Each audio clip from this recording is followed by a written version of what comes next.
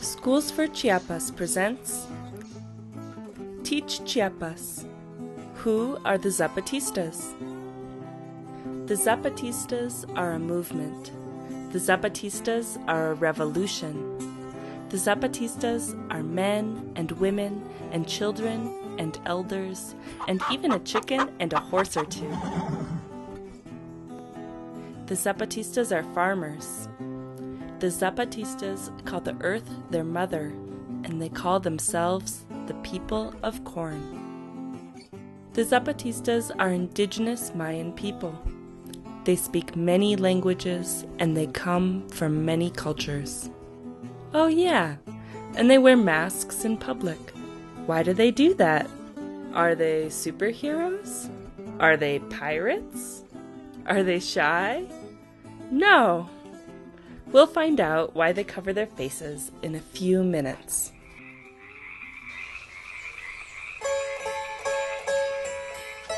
The Zapatistas were born in the jungles and mountains of southeastern Mexico in a state called Chiapas, where for over 500 years their families and communities have been struggling to survive, resisting. Indigenous people in Mexico have a long history of resisting. They resisted the Spanish invasion in the 1500s. Then they resisted slavery and oppression on the plantations until the Mexican Revolution in 1910 when they joined the fight for land and freedom, crying out, The land belongs to those who work it.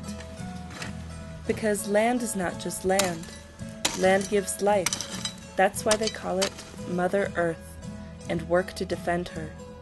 Land gives freedom because when you have land, you can grow food and play and sleep and work without asking anyone else for permission. You just do it yourself with your family and community.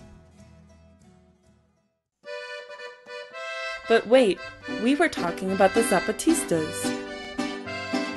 Like I was saying, they were born in the jungle, in Chiapas, and in 1983 they began preparing secretly to take back the land they needed to survive.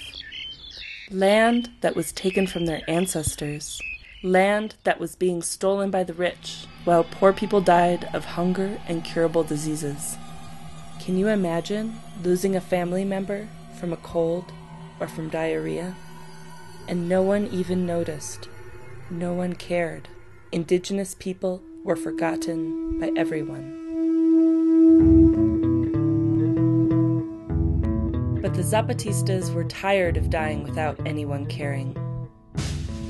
They wanted the world to see that they existed, to hear what they thought. They wanted the whole world to hear their demands for peace and justice, democracy, freedom, independence, culture information, food, healthcare, housing, work, land, and education. So, after 10 years of secret preparation, they were ready to act. On the morning of January 1st, 1994, they started a revolution, and they covered their faces to tell the world who they were. Zapatistas! They cried out, Ya basta! which means, Enough is enough! They said, Enough dying of curable diseases, enough hunger, enough oppression, enough of being forgotten. They declared war on the Mexican government and took back land that had been stolen from them. They knew another world was possible. But the Mexican army attacked the Zapatistas with troops, tanks, planes, and bombs. Fighting lasted for 12 days. The Mexican people heard the words of the Zapatistas and agreed with their demands. Throughout Mexico, people demonstrated for peace and justice. So many people supported the Zapatistas that the Mexican Congress passed a law recognizing their movement and establishing a ceasefire.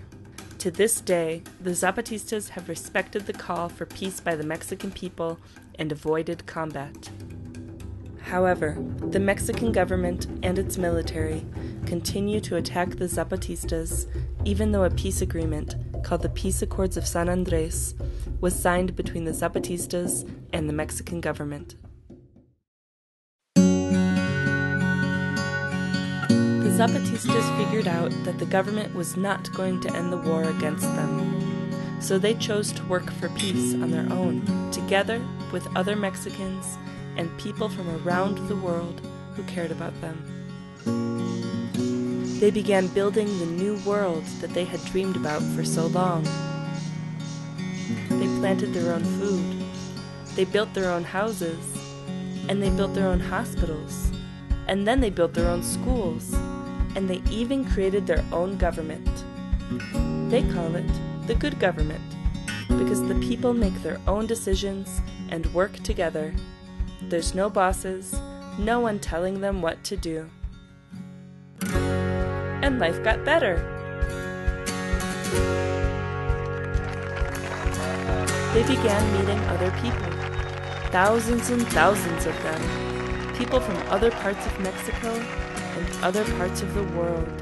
They held big meetings and celebrations to learn from one another, to share ideas about how to build a world where many worlds fit.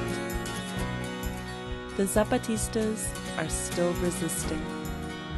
They don't have much money, but they have a rare treasure that no one can ever take away autonomy. What's that? Autonomy. Autonomy is freedom and independence. It's being able to do things yourself. It's supporting one another. It's building a whole new world according to what you need, what you can create to yourself, and what you imagine. The Zapatistas say, We are creating our own autonomy. We are creating a new and better world. So, what about you? What can you imagine? Do you ever see injustice where you live? Can you imagine a better world? What can you do to begin building a new and better world?